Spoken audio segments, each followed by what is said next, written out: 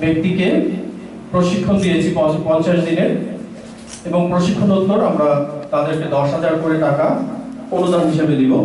এবং খামরাই উপজেলায় উনিশশো দুই হাজার চোদ্দ পনেরো অর্থ বছর থেকে হিজড়া জনগোষ্ঠীর জন্য উপজেলায় সমাজসেবা বিভাগ তথা উপজেলা প্রশাসন এবং উপজেলা প্রশাসন কর্তৃক যে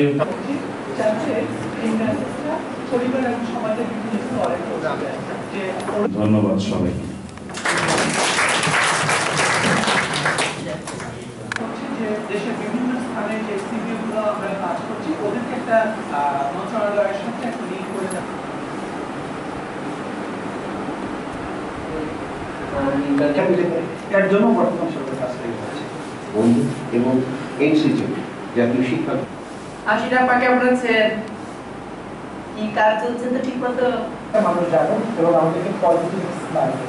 আমার বিদ্যার্থীর জীবন মান। এলাকায় স্কুলের বাচ্চাদের পড়ানো হবে। সেখান থেকে ইতিবাচক ধারণা পেয়ে আমরা আমাদের ভোটার অধিকার এবং ভোটার কার্ড পর্যন্ত আমরা ব্যাপক করা প্রয়োজন। যে তারা কিছুটা হলেও স্বাবলম্বী হচ্ছে। যে আমি আমার পরিবারে ফিরে গেছি। গণনার ভিতরে মানিকগঞ্জ আলাদা গণনা হবে সাভার আলাদা গণনা হবে। এখন পঞ্চাশটা হিজড়া লাগবে। আমি সব জায়গা থেকে এনে পঞ্চাশটা এখানে দেখাবো। মানিকগঞ্জ নিয়ে আবার পঞ্চাশটা দেখাবো। কিন্তু মানুষ একটাই তিনটা গণা হচ্ছে। তাহলে কিন্তু আমরা সবাই হিজড়ে হয়ে যাব। কিন্তু আমি সবচেয়ে আগে বলব, যারাই এনজিওতে চাকরি করছেন ডোনারকে হিজড়ে দেখাবার জন্য যাকে তাকে হিজড়ে বানিয়ে দিয়েন না। পঞ্চাশটা হিজড়ে আমি চ্যালেঞ্জ করে বলব ধামরাইতে নেই। আমি চ্যালেঞ্জ করব। আমি হিজড়ে হই, আমি আজ পঁয়ত্রিশ বছর ধামরাইতে আমার গুরু মনু হিজড়া ঢাকা সিটিতে মালিক ছিলেন, হিজড়ে সম্প্রদায়ের। এখন উনি নেই, মারা গেছেন, ওনার জায়গায় আমি আছি। কিন্তু আদৌ আমার তো মনে হয় না যে পঞ্চাশটা হিজড়ে ধামরাইতে আছে।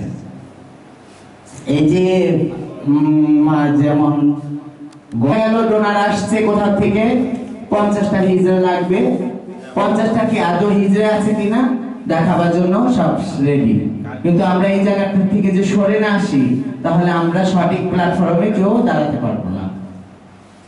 তা আমি এর থেকে আর আগে বাড়তে চাই না।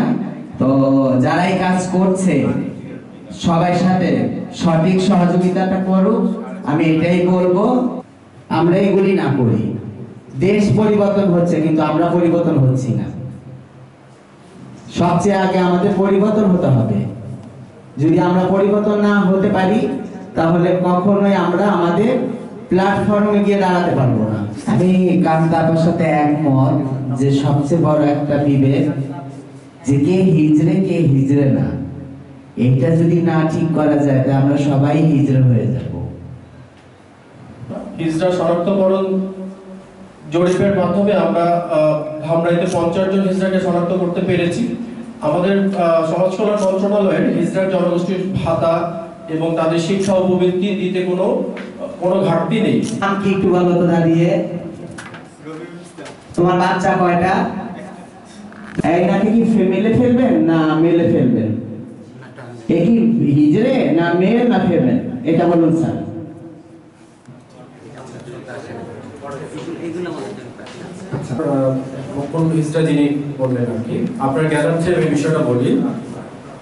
আপনি এখানে যারা আসছেন, অনেকেই কিন্তু ধামরাইয়ের না, যে একজন বাইরের আছেন।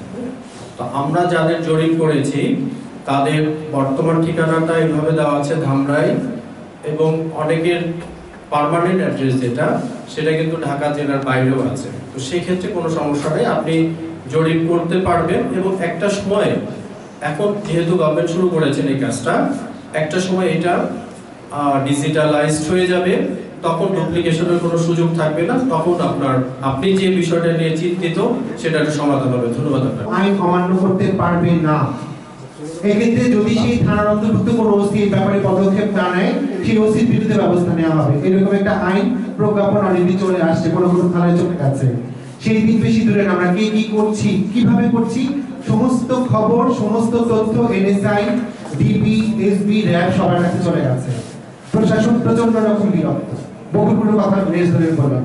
এবার হিজরা সম্প্রদায়ের যারা বিভিন্ন বাড়িতে অথবা বিভিন্ন প্রতিষ্ঠানে গিয়ে তাদের প্রয়োজনের জন্য, তাদের চলার জন্য যে অর্থ করি তারা চাচ্ছেন, এই জায়গাটা থেকে আমাদের বের হয়ে আসার প্রয়োজন করে থাকি। কিন্তু পুলিশ হেডকোয়ার্টার থেকে যে চিঠি এসেছে, তাতে স্পষ্ট বলে দিয়েছে যে উল্লেখিত বিষয়ে প্রচলিত আইন ও বিধির আলোকে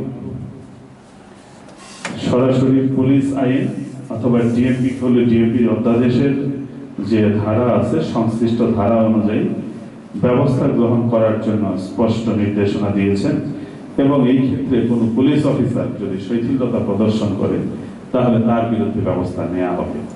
দ্যাট মিনস আজকে এই যে চাঁদা অথবা মানুষের কাছে গিয়ে চলতে না পারার কারণে হয়তো কিছু টাকা দাবি করার যে বিষয়টি এটি আস্তে আস্তে হয়তো বা আরও একটু শক্ত হয়ে যাচ্ছে।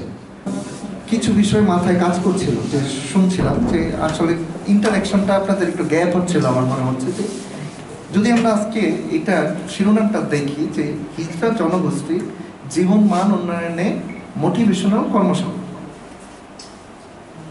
আপনাদের লাইফ অফ লিভিং যেটা হচ্ছে যে কীভাবে আমরা মেইন স্ট্রিমে উন্নয়নের দিকে নিয়ে আসতে পারি। এখন আপনারা যেটা করছেন বা যে নেতিবাচক ধারণাটা আছে, ইতিমধ্যে আমরা শুনলাম কিছু বিষয় নিয়ে, সেই নেতিবাচক ধারণাটা থেকেই আমরা কি করে আসব? আস্তে আস্তে বের হয়ে আসব। এই ধরনের ইনস্টিটিউশন করতে আরেকটি বিষয় যেটি ভারপ্রাপ্ত কর্মকর্তা ব্যক্ত করে গেলেন, যে এই যে একটা নেতিবাচক ধারণা, যে আমরা কেন হিজড়া সম্প্রদায় সম্পর্কে একটা নেতিবাচক ধারণা পোষণ করছে। নেতিবাচক ধারণাটার কারণেই কিন্তু আবার অনেকে হিজড়া হচ্ছে। নেতিবাচক ধারণাটার কারণে কেন? আমি যদি বলি যে এখন এটাকে অনেকে একটা বাণিজ্যিক ভাবে চিন্তা করেছে, অনেকে। যার ফলে সে চিন্তা করছে, আমি হিজড়া হয়ে গেলেই তো কি করতে পারছি? কি আমার জীবিকা নির্বাহ করাটা অনেকটাই কি হয়ে যাচ্ছে? সহজ হয়ে যাচ্ছে। এর জন্য আমি কি করছি? আমি হিজড়া হচ্ছি কিন্তু আমি আসলে কি হিজড়া না। সেটা বলতে এইটা আমাদের কাম্য না। আমার বাসে উঠে একটা, এমন একটা অবস্থা, একটা একটা লজ্জাজনক পরিস্থিতিতে হচ্ছে একটা লোককে।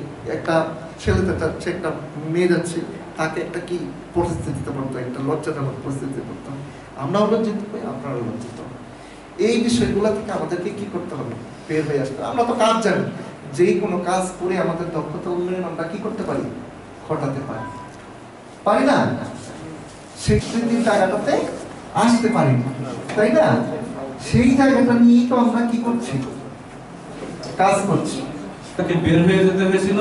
সে যখন নিজের পায়ে দাঁড়াচ্ছে, তখন বাড়িয়ে বা তাকে ডেকে দিচ্ছে। সে যখন তার পরিবারকে দেখাশোনা করতে পারতেছে, তখন তার পরিবার আবার সেই জায়গাটাকে ভুলে যাচ্ছে। Dale. Etme, önce bul seni ona.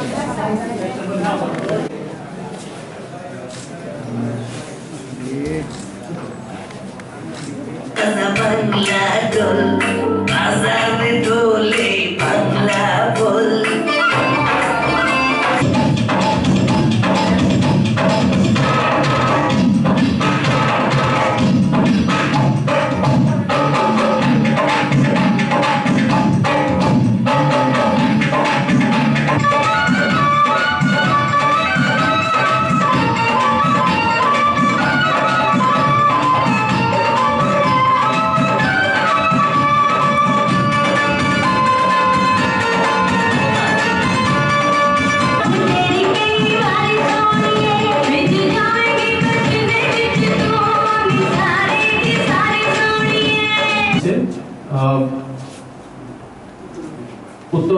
പന്ത്രണ്ടാം തീയതി